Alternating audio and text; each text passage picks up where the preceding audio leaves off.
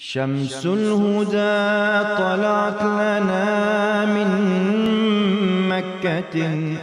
عين الندى نبعت لنا بحراء نختار آثار النبي وأمره.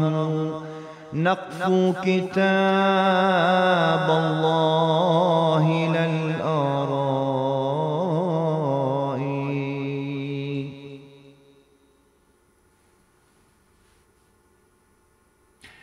أعوذ بالله من الشيطان الرجيم. بسم الله الرحمن الرحيم. أعزائي المشاهدين السلام عليكم ورحمة الله تعالى وبركاته.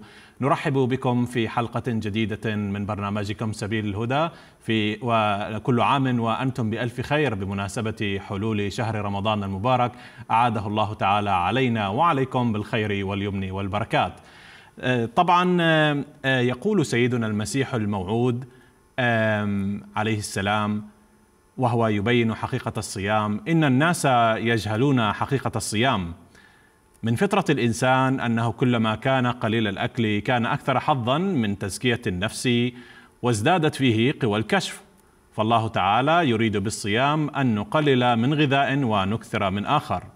يجب على الصائم أن يتذكر دائما أن الصوم لا يعني الجوع فقط بل عليه أن يشتغل في ذكر الله تعالى حتى يتيسر له التبتل والانقطاع إليه عز وجل. فليس الصوم إلا أن يستبدل الإنسان بالغذاء الذي يساعد على نمو الجسم فقط غذاء آخر تشبع به الروح وتطمئن. هذا كان تفسير المسيح الموعود عليه السلام لقوله تعالى كتب عليكم الصيام طبعا لعله أول رمضان في حياتنا نرى العالم كله فيه يواجه مثل هذه الظروف الصعبة الناجمة عن الجائحة المسماة بفيروس كورونا. ولقد تغيرت بسببها كثير من الأمور المعتادة في حياتنا اليومية وبالطبع أثيرت أسئلة كثيرة لدى الناس فإنهم يعرفون كيف ينبغي أن يتصرفوا في ظل الظروف الراهنة. طبعا في هذه السلسلة من من سبيل الهدى سنأخذ أسئلتكم الفقهيه المتعلقة برمضان والصيام. ومعنا محمد طاهر نديم. أستاذ محمد السلام عليكم. عليكم السلام ورحمة الله وبركاته. كل عام وأنتم بخير. كل عام وأنتم بخير. وأنتم بألف ألف خير. طبعا سؤالنا الأول كيف يمكن أداء الصلاة جماعة في البيت في ظل الظروف الراهنة أستاذ محمد؟ بسم الله الرحمن الرحيم.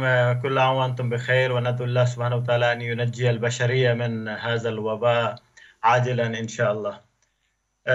بالنسبة إلى سؤالكم الأفضل أن تصلى الصلاة بالجماعة في المساجد ولكن يجتاح وباء كورونا العالم كله ووفق تعليمات كثير من الحكومات. أصبح الناس يلتزمون ببيوتهم بسبب الإغلاق التام. لأجل ذلك البديل هو أن يصلي أفراد البيت الصلاة بالجماعة وفي أوقاتها في بيوتهم بحيث يمكن أن تكون هذه الطريقة المعتادة أن يؤم رب البيت أو أحد أفراده الذكور. يؤم في الصلاة والآخرون يقتدونه ويقفون وراءه في الصف. ولكن إذا كان في الأسرة رجل واحد فقط ومعه زوجته وبناته فيمكن أن يصلي صلاة الجماعة بحيث يقف أمام صف النساء يعني نساء بيته ويصلي بهن إماما. وهو الذي سوف يقوم برفع الأذان ويقيم بنفسه أيضا. أما إذا كنا نصف فقط فإن الصلاة صلاة الجماعة لا تجب على المرأة هكذا قال النبي صلى الله عليه وسلم وصلاتها في بيتها منفردة أفضل من صلاتها جماعة في المسجد. ولكن مع ذلك إذا أردنا صلاة الجماعة فيجوز لهن لما ورد في بعض الروايات أن أم سلمة زوج النبي صلى الله عليه وسلم وعائشة زوج النبي صلى الله عليه وسلم كانتا في بعض الأحيان تؤمان النسوة في المكتوبة أي في الصلاة المكتوبة.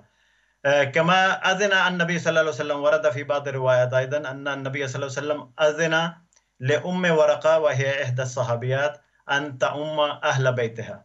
ولكن في هذه الحالة إن صلينا جماعة في البيت وينبغي أن تكون إمامتهن في وسطهن في الصف الأول ويؤمهن أقرأهن يعني التي هي عالم بالقرآن وعالمهن بأحكام الدين.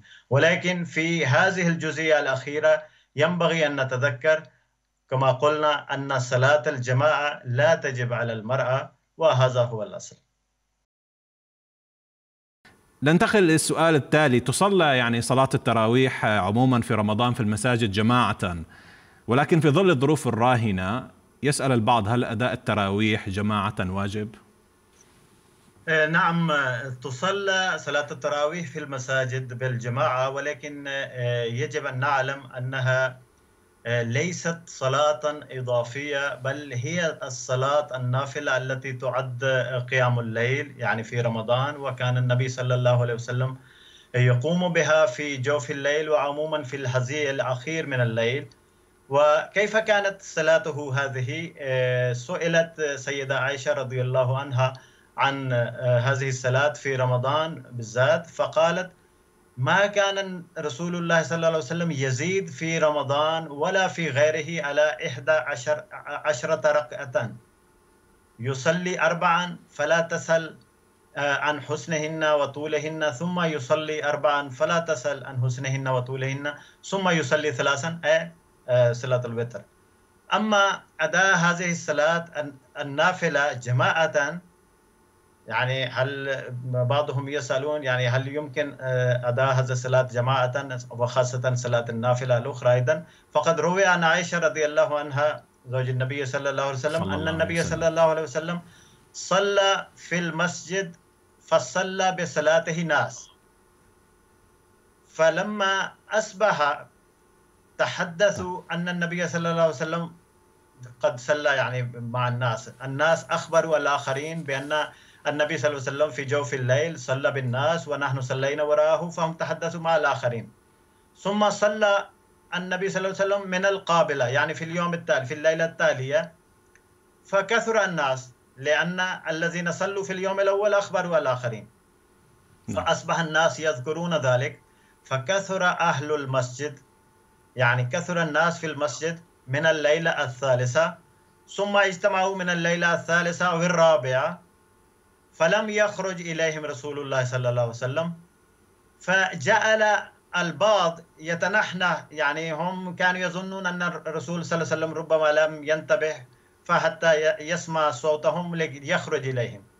ولكن النبي صلى الله عليه وسلم لم يخرج. فلما أصبح قال النبي صلى الله عليه وسلم قد رأيت الذي صنعتم. أنا كنت أسمع صوتكم. فلم يمنعني من الخروج إليكم إلا أني خشيت أن تفرض عليكم وذلك في رمضان. يعني إذا صليت هكذا كل يوم كل ليلة فخشيت أن تفرض عليكم تصبح يعني واجبة وفرضا هذه الصلاة فلأجل ذلك أنا تركت. نعم. فمن هنا يتضح أن النبي صلى الله عليه وسلم لم يصلي هذه الصلاة النافلة جماعة إلا ثلاثة أيام ثم تركها. فظل الناس يصلون هذه الصلاة في جماعات وأفرادا وبعض الصحابة الذين كانوا يعملون أعمالا شاقة طوال النهار وكانوا يخشون أن لا يستيقظوا في آخر الليل فكانوا يفضلون أن يقوموا بقيام الليل في أول الليل أي بعد صلاة العشاء. وحدث في عهد سيدنا عمر رضي الله عنه أنه خرج في إحدى الليالي في رمضان إلى المسجد فإذا الناس أوزاع متفرقون يصلي الرجل لنفسه ويصلي الرجل فيصلي بصلاته الرهط يعني الناس. فقال عمر رضي الله عنه والله إني لأراني لو جمعت هؤلاء على قارئ واحد لكان أمثل فجمعهم على أبي بن كعب. ثم خرج في ليلة أخرى والناس يصلون بصلاة قارئهم. فقال عمر نعمة البدعة هذه والتي تنام وهذه الكلمات يجب أن نصغي إليها. قال عمر رضي الله عنه والتي تنامون عنها أفضل من التي تقومون. يعني كان الناس يقومون أول الليل فقال عمر رضي الله عنه بأنهم ينامون آخر الليل وهذه الصلاة في آخر الليل أفضل. وذلك لأن النبي صلى الله عليه وسلم كان يصليها هكذا. فالأفضل أن يصلي الإنسان صلاة التهجد وإن صلى معها التراوي التراويح فزيادة الخير خير. وليس واجبا أن يصلي المرء صلاة التراويح آه، بالجماعة. ولكن إن كانوا يصلون في المسجد الناس يصلون. فالأفضل أن يصلوها جماعة حتى لا تكون صورة لافتراك الكلمة. وليس الجميع أيضا يحفظون القرآن كله. فإذا كانوا خلف قارئ فيسمعون القرآن القرآن الكريم أكثر فأكثر. وشهر رمضان متميز بالعمل بالقرآن وبالسماع بالآيات القرآنية. ولكن جواز صلاة التهجد أو النافلة بالجماعة واضح لأن النبي صلى الله عليه وسلم صلاها ثلاثة أيام مع الصحابة. ثم جمعهم سيدنا عمر على إمام واحد ووفق قول النبي صلى الله عليه وسلم عليكم بسنتي وسنة الخلفاء الراشدين المهديين من بعدي فمن شاء وفق هذه السنة عمل بهذه السنة ولكنه إن كان يستطيع أن يصلي كما كان النبي صلى الله عليه وسلم يصليها في آخر الليل فهو الأفضل كما ذكره سيدنا عمر رضي الله عنه بنفسه أيضا. وهو بنفسه عندما مر من ذلك المسجد مرتين استحسن فعلهم ولم يشترك في في صلاتهم. هذا يعني أنه أيضا كان يفضل أن يصليها في آخر الليل. بارك الله فيك. مير أنجم معنا على الخط. السلام عليكم أستاذ مير أنجم وكل عام وأنتم بخير. كل عام وأنتم بخير. أنتم بألف خير. طيب أستاذ مير يعني السؤال هو هل يجب الصيام في طبعا هذا كان سؤالنا في البداية هل يجب الصيام في ظل الوباء المتفشي؟ ألا يكون خطرا على الصحة فيضعف المناعة؟ أستاذ مير. أشهد أن لا إله إلا الله وأشهد أن محمدا عبده ورسوله. أما بعد فأعوذ بالله من الشيطان الرجيم. بسم الله الرحمن الرحيم. أولا ندعو الله سبحانه وتعالى أن يحفظ العالم من وباء الكورونا وويلاته ويوفقهم ليعرفوا خالقهم ويؤمنوا به وبالمبعوث بمبعوث هذا الزمان المسيح الموعود والإمام المهدي عليه الصلاة والسلام. والذي بعثه الله تعالى في هذا الزمن ليحكم في جميع أنواع القضايا بما فيها آه، القضايا الفقهية. وأقام من بعده الخلافة الراشدة التي ترشدنا في القضايا المتجددة آه، وتهدينا أما هذا السؤال بأنه هل يجوز الصيام في ظل وباء الكورونا؟ فأقول قد بين الخليفة الخامس أيده الله تعالى بنصر العزيز في خطبته الأخيرة آه، في 24 نيسان 2020 وبين المبدأ الأساسي آه، ردا على مثل هذا السؤال. وقال من هدي القرآن من هدي القرآن الكريم الواضح أن على المريض ألا يصوم على المريض ألا يصوم. أما أن يفطر الإنسان خوفا من أن يصاب فهذا باطل. هذا هو المبدأ لا يمكن للإنسان أن يترك الصيام خوفا من أن يصاب بالمرض. قال الله سبحانه وتعالى في القرآن الكريم فمن كان منكم مريضا أو على سفر فعدة من أيام أخرى لم يقل الله سبحانه وتعالى آه، بأنه من خاف من أن يصاب بالمرض فعدة من أيام أخرى فهذا يجب أن نتذكر. الذي هو مريض ومرضه يضر بصحته. فهذا الشخص يجب أن يترك الصوم ويفطر. أما الخوف من الإصابة بالمرض فهذا لا يمنع من أن يصوم. ثم ذكر الخليفة في إحدى خطبه الحالية عن المناعة أيضا. وأرشدنا في هذا الموضوع أيضا وذكر بعض الأمور التي هي تفيد في الحفاظ على المناعة وتقوي المناعة وقال أولا بأنه يجب أن نأكل الطعام الصحي الغذاء الصحي المتوازن. الناس ماذا يفعلون في أيام رمضان؟ يكثرون من الأغذية والأطعمة التي تضر بالصحة. وهذه تضعف المناعة بلا شك. فيجب أن نتجنب من الأشياء المقلية والدسمة لكي لا يتضرر تتضرر المناعة. ثم قال الخليفة نصره الله سبحانه وتعالى أيضا فيما يتعلق بالمناعة بأن على المرء أن يأخذ قسطا وافرا من النوم. وهذا أيضا يقوي المناعة.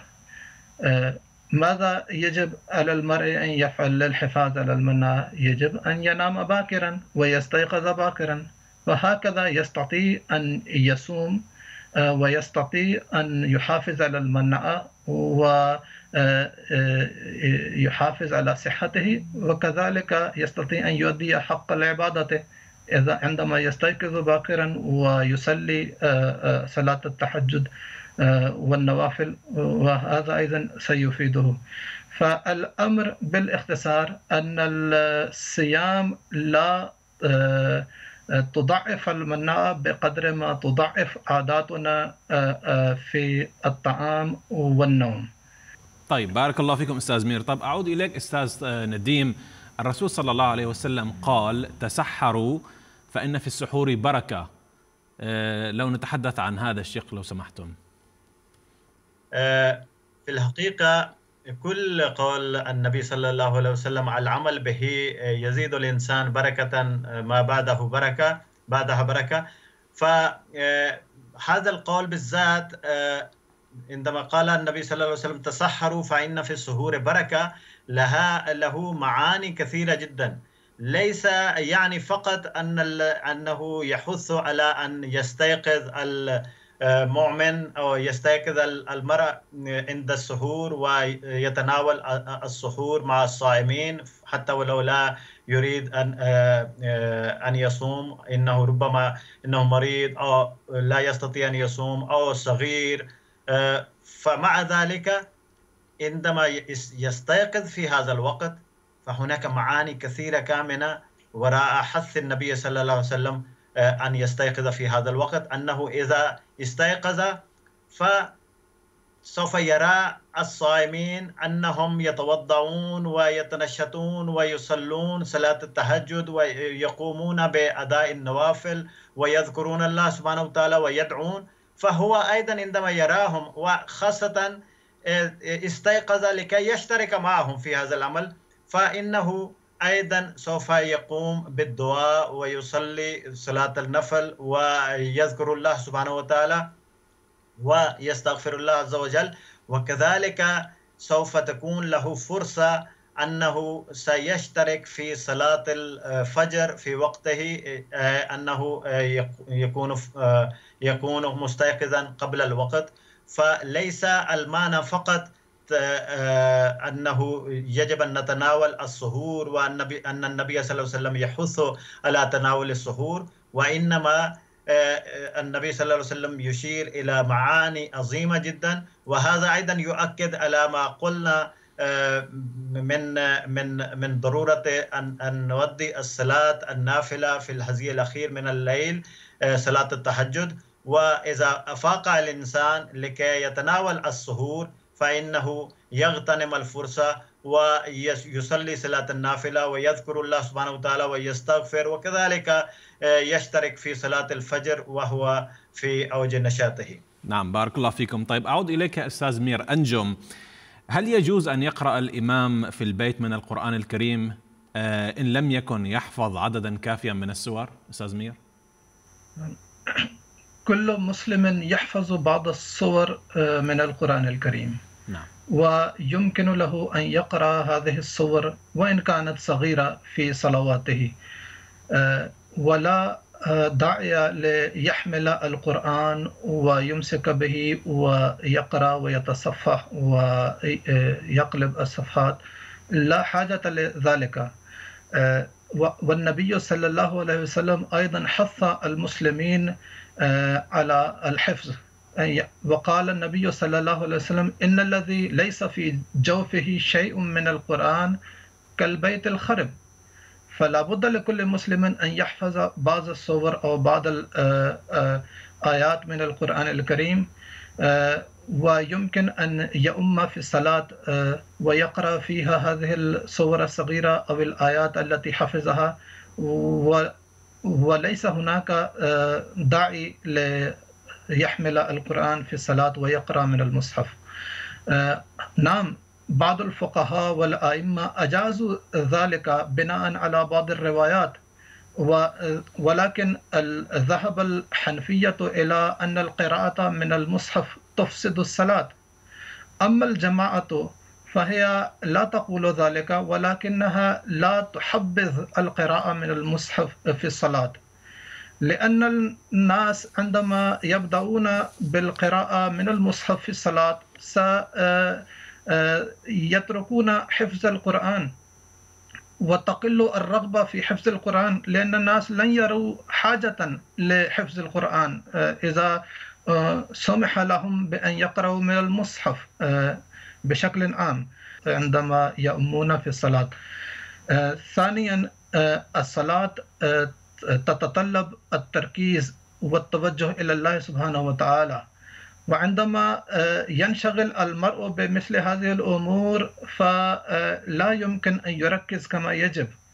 آه، ويجب آه، بعض الناس يقولون بأن القراءة والتلاوة هي أيضا عبادة فلا بأس بذلك. صحيح. آه، آه، ولكن هل من الضروري أن يقرأ آه، القرآن من المصحف في الصلاة؟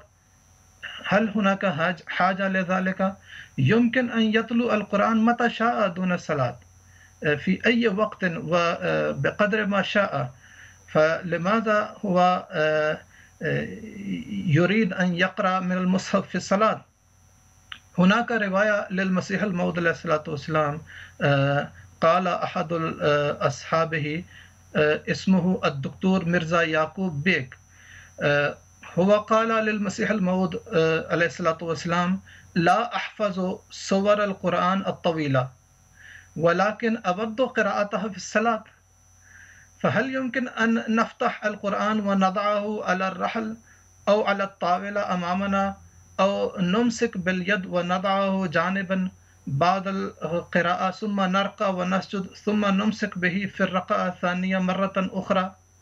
هذا السؤال سأله الصحابي نعم. آه، للمسيح الموعود عليه الصلاة والسلام. وقال المسيح الموعود عليه الصلاة والسلام ردا على هذا السؤال لا حاجة إلى ذلك. عليك أن تحفظ بعض الصور وتعيد قراءتها. هذا ما قال الحكم العدل في حفظ القرآن. السؤال لماذا الناس يريدون ذلك؟ لأنهم فرضوا من عند أنفسهم بأن صلاة التراويح آه، فرض. وفرضوا من عند أنفسهم آه، إنهاء القرآن آه، في صلاة التراويح. نعم. وبما أنه ليست صلاة التراويح واجب وليس إنهاء القرآن في صلاة التراويح واجب فلا داعي لحمل المصحف في التراويح أو والقراءة من المصحف. نعم بارك الله فيكم. طيب بثلاث دقائق أستاذ مير لأنه وقت البرنامج شارف على الانتهاء. هل يمكن أن ندفع الفدية وأن لا نصوم؟ إذا كان الشخص خائف من أن يصاب بالمرض هل يمكن له ذلك أستاذ مير؟ بثلاث دقائق أرجوك. يتبين من القرآن الكريم بأن المريض يجب أن لا يصوم. وإذا كان المرض مؤقتا فيجب أن يصوم فيما بعد يكمل العدة بعد رمضان ويدفع الفدية أيضا. أما إذا كان المرض دائما فيكتفي بالفدية لأنه لا يستطيع أن يصوم آه، طول حياته. فالفدية لا تغني عن الصوم يعني الإنسان لا يمكن أن يدفع الفدية ويترك آه، الصيام. أما في هذه الأيام في مرض الكورونا الشخص الذي يخاف من أن يصاب بالمرض أولا لا يستطيع أن يترك الصوم. كما ذكرت المبدأ الذي بينه الخليفة نصره الله سبحانه وتعالى في آه، خطبته الأخيرة في 24 نيسان 2020 من هدي القرآن الكريم الواضح أن على المريض ألا يصوم. أما أن يفطر الإنسان خوفا من أن يصاب فهذا باطل.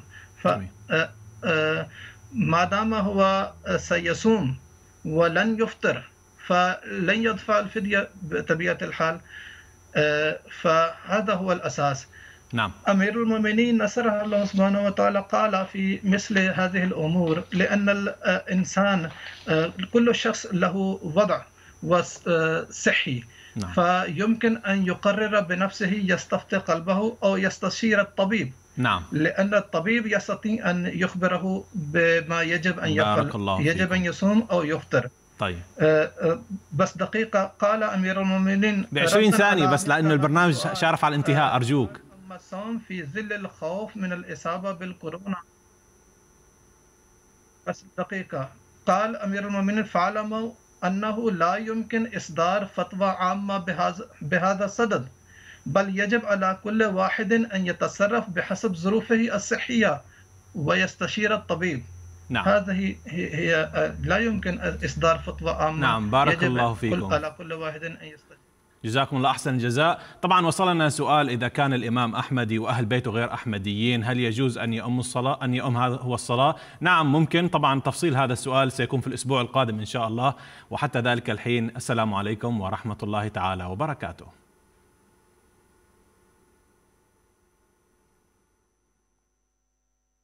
شمس الهدى طلعت لنا من مكة.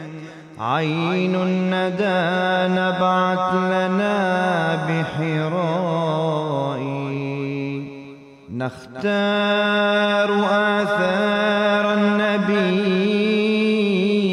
وأمره. نقف كتاب الله لنا